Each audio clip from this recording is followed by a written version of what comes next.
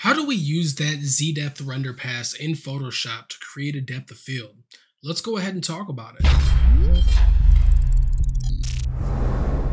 What is going on Pro EDU community? It's Dustin Valkema and today we're talking about the Z-Depth Render Pass. It's one of my favorite passes to use and so what we're going to be doing is discussing today how to create a depth of field in Photoshop using this render pass. Now we're also going to be having a small series here of videos that's going to be discussing the different ways that we can use that in our composite work in Photoshop. So let's go ahead and dive right in and take a look at how to create a depth of field. All right, here we are in Photoshop. I've got a composite that I've been starting to build, and at this point, I feel like I want to have a depth of field and really see what this would look like as I start to work with those different adjustments. Now, if we go ahead and take a look at our Z-depth pass here, we'll see that we have black to white grayscale values with the darkest values being here in the foreground and then the brightest values being towards the background. And what this is doing is just giving a visual representation by value of the point of where your camera sits to the back of the scene. Now, as we start to take a look at this, we're going to want to prep this image for using the Z depth for a depth of field here in Photoshop. So the first thing we're going to do is make sure that we have our Z depth pass currently on, and this is going to be above all of our different layers here. Now, how I have this set up is all of my accessory passes, I call them, are in their own group, and this own group sits all the way up top of all of my other render layers and whatnot for my composite. So this accessory group has my material ID, my Z-depth, my shading normal, anything that's more info channel based rather than a beauty layer for the compositing. Now with this Z-depth pass active, we'll see in our channels panel here that we have the red, green, and blue channels here. Now this is not going to give us any other bit of information because it's all grayscale, but in order to prep this for using the Photoshop lens blur effect, we're going to have to create an alpha from one of these RGB layers. So what we'll do is we'll go ahead and controller command, click the thumbnail, of the red channel here. Now at the bottom, we'll head down to this save selection as alpha. So we'll go ahead and click this button here. And now we'll see that we have alpha 1 that has been created. So let's go ahead and rename this to Z depth. And this is going to be the channel that we're going to use. Now we can head back into the layers panel here, go ahead and turn that off. We can also go ahead and deselect, so controller command D. And what we're going to take a look at now is the things that we have in the scene that are effects that have been built in to really enhance the image but are not part of the 3D render. Now, this primarily consists of this post-processing pass, which is just the bloom and glare from the render side here. So we'll go ahead and turn that off. And then I have a color layer here that was just used to paint a little bit more color around the sphere right on top of the smoke that is sitting underneath. Now, the reason why we're hiding some of these layers is because the Z-depth pass does not contain the information of these layers that we're compositing on top of our image. And so for something like this smoke that's there, I want that primarily to be in focus anyway, right around the subject, which in this case would be the sphere. So I'm just going to hide that so that that Z-depth pass information doesn't really start to work with that smoke because then you start to get these weird edges and the smoke looks a little bit funky town we don't want any of that. Now I'm also hiding the bloom and glare from this and that's primarily happening so that really kind of the same thing as a smoke. I don't really want to force a depth of field on that pass that I may not actually want. So hiding some of these effects layers that you're putting into your composite is a good idea before you start to implement a depth of field. Okay, back to it here. Now, with all of these layers here that are going to be on top of the final composite, what I'm going to do is actually select the layer that's underneath here. Now with this one, it's just a gradient fill. So what we'll go ahead and do here is at this point with this layer selected, we'll go ahead and press Control or Command, Shift, and Alt or Option, and press E. Now, what this is going to do is create a new layer. This is called a stamp visible. This is going to basically be a copied and merged version of all of the layers that are visible underneath. So what we can do here is now use this layer for creating the z-depth. Now it is important not to right click and convert this to a smart object because this effect that we're going to be using is destructive and it doesn't really work with smart objects. So go ahead and just keep this as its own layer. Now with this done, let's go ahead into our filter menu here. And at this point, we'll go to blur and blur. There we go. And we'll go to lens blur. Give that a moment to pop up. And now with lens blur up, we have a few different options here. And so what we're going to be looking at is creating a depth using the source of our z-depth channel that we have created. So now with this, what we can do is use this set focal point. We'll see here that if we hover our screen, we have this little crosshair icon right next to our primary cursor.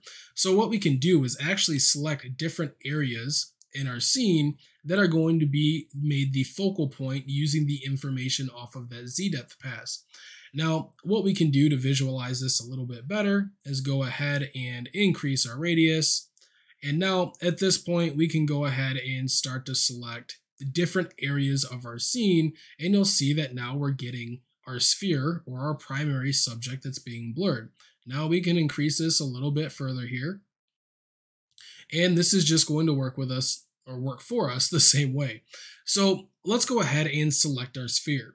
Now on something like this, I was thinking to have a little bit more of a bokeh blur in the background. So this is actually working out quite well, even though the radius is pretty high here.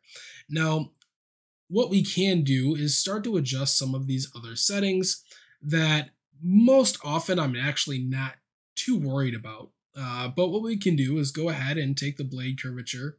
And what this is going to do is just give us more round bokeh. And rotation is going to be the rotation of our bokeh that's being created. Specular highlights here, we can go ahead and bring this up. I don't think we're really going to have too much to worry about, but we can also work with a threshold if we did. So this is more about just creating the depth of field you guys can play with some of these settings in your images that have the nice, we'll say, fairy lights and things like that. So with this one here, uh, let's go ahead and just take our brightness back all the way down. We can go ahead and introduce some noise to this image here. Um, obviously, going to a value of 46 is quite a bit. However, we can still choose, just like with our regular, regular noise, we can choose between uniform and Gaussian. So for me, I generally choose Gaussian, and we can go ahead and start to bring this down to somewhat of a reasonable level if we want to have this in our scene at this point. Also go ahead and make this monochromatic so we're not getting color noise. This is something I actually usually do during the grading process, so I'm not too worried about that. Now, before we get out of here, let's go ahead and we can just drop this just a little bit more with our radius here so we can see some of the details and we can go ahead and click OK. Now, that is the base of how to simply go in and create a depth of field using the z-depth pass. Now, at this point here, this is where I would go ahead and I would start to turn on some of these other effects that were made to be a little bit more in focus. Now, there are certain areas as you start to get into this and it doesn't look like it's really problematic here, but if you do have things in your scene that are very sharp with your post-processing or your bloom and glare layer, that you may want to blur this layer with something like the field blur and just certain areas so that it works out quite well for you. Now let's go ahead and actually kind of reverse this process and look at why I was maybe talking about not doing certain things uh, in a certain way. And the first example that we're going to look at is why you would do this whole process after your primary composite is done. So let's go ahead and delete layer one here. Get back to our starting state.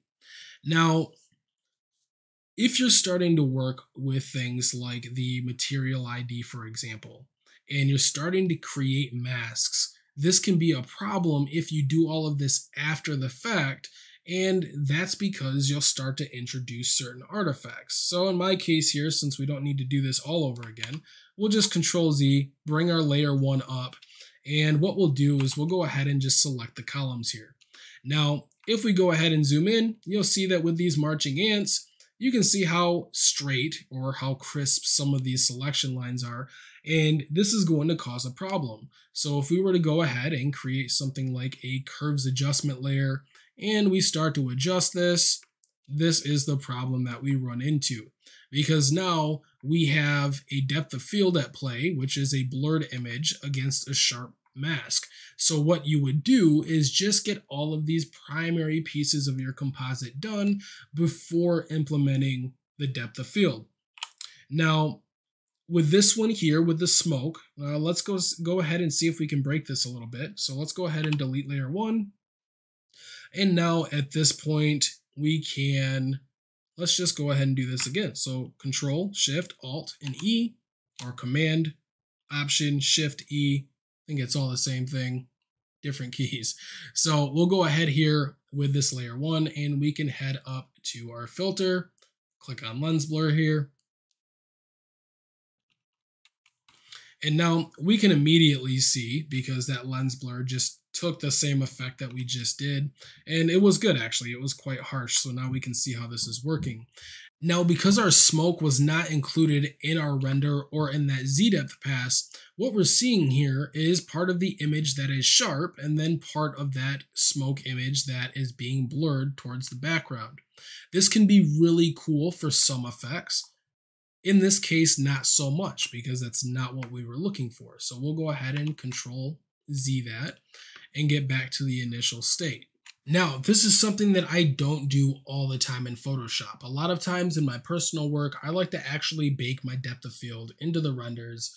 And there are times where that can cause issues with masking and making a little bit more difficult selections, just like it is here when we're working with the Z depth first and then we're trying to apply other masks on Either way is a good way to do it. A lot of times if I'm doing client work, I'm going to be doing this more in Photoshop or in post-production as a whole, just because I have a little bit more control on the post side as to where my client wants that depth of field. If they want it a little bit more blurry, wherever that focal plane needs to be, I can place it in that area. Now, as you're starting to work through this, just remember to go ahead and hide some of those layers that you don't want affected by that Z-depth pass. And in our case here, this was primarily that smoke layer that we didn't really want pushed and, and acting a little bit funky based on our focal plane and the way that that z-depth pass worked. Now, make sure to stay tuned for a few more videos that we have coming out on the z-depth pass. As I said before, it's one of my favorites that I use. And with that being said, don't forget to like, comment, and subscribe. Never stop learning. I'll see you in the next video.